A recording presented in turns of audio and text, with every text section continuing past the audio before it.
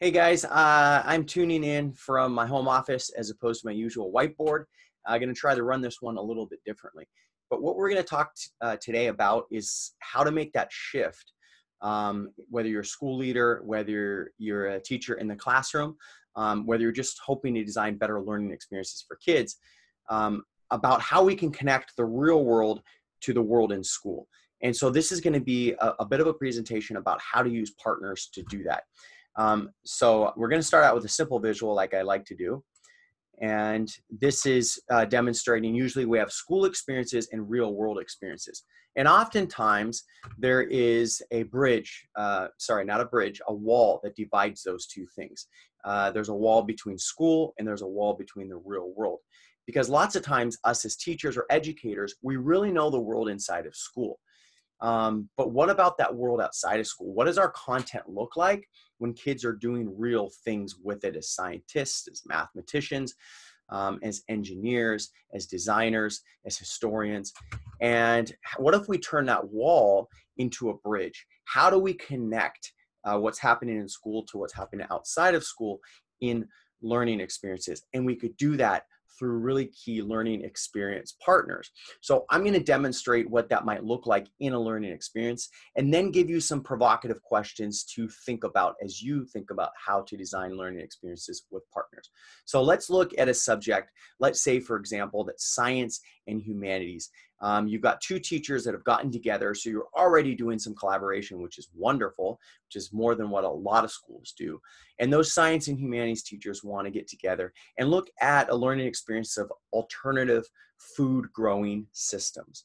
Okay, so they're looking a little bit about urban farming. We're trying to address this fact that the world's food is going to be limited if we keep producing at this rate and having kids really explore food production.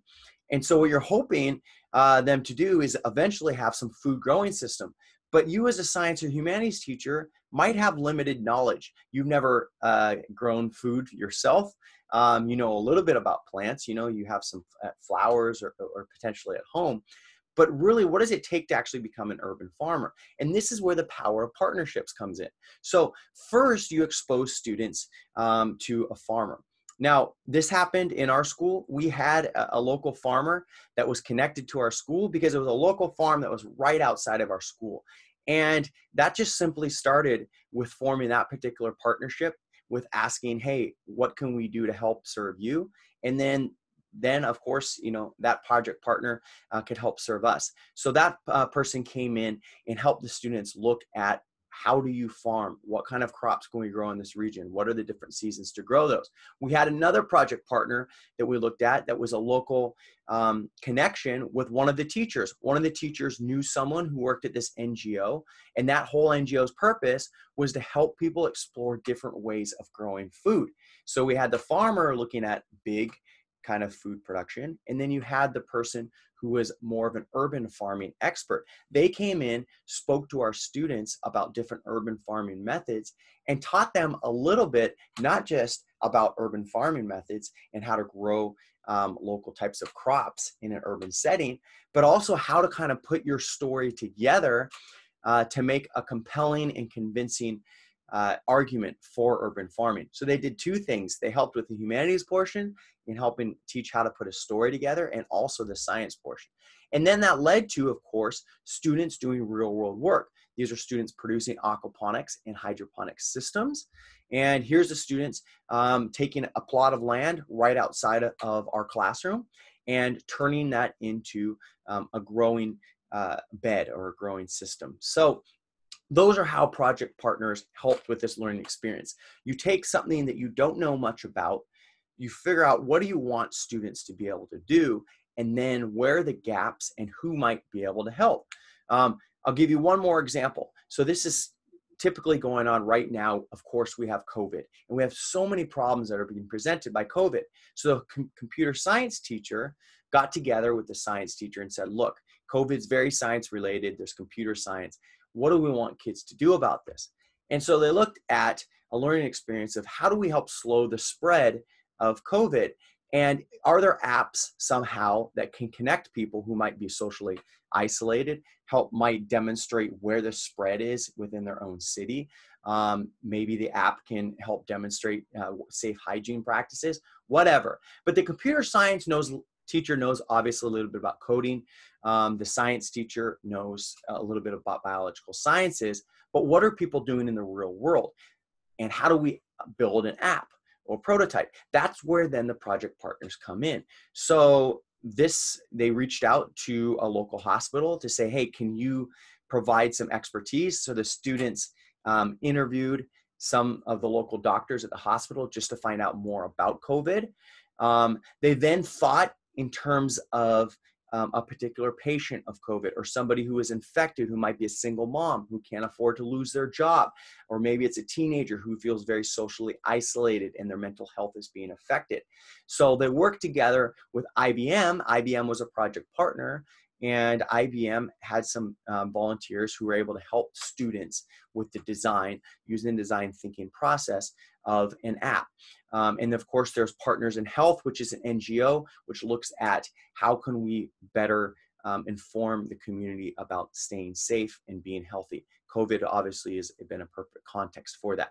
Now, the students didn't actually create the apps, they just designed what the architecture of the app would look like. So when you're thinking about this, you're like, wow, that's way above, you know, my pay grade or way above what my students can do. Think in terms of what's the lowest hanging fruit. In this case, the students went through the whole design thinking process and they designed um, what that app would look like.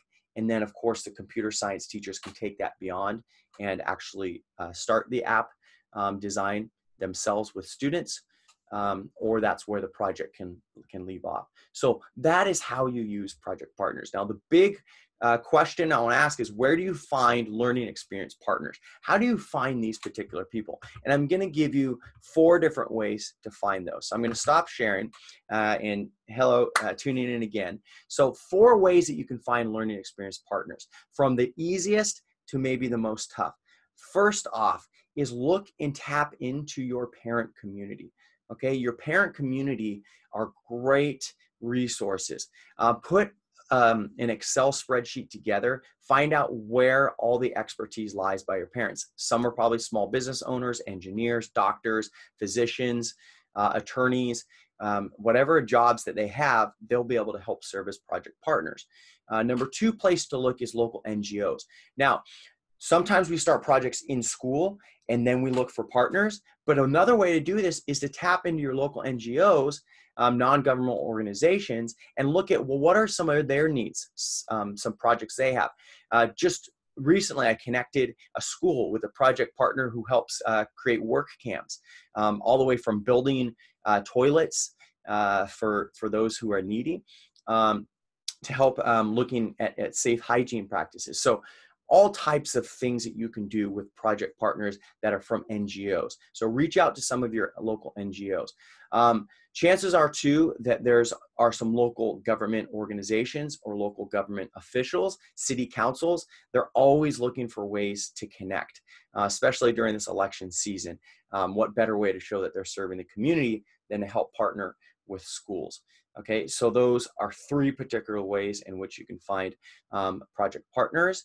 And um, the fourth way to look for project partners is to reach out to small businesses. A lot of times, small businesses um, are are really looking uh, to, to to be part of the the community, and they have uh, particular needs uh, that always generate. I'm a small business owner, so I know that myself. So that's a good place to look. Um, so hopefully that uh, video helps you. You think about how to form uh, partnerships and how to link the uh, world, world in school to the world outside of school through those project partners.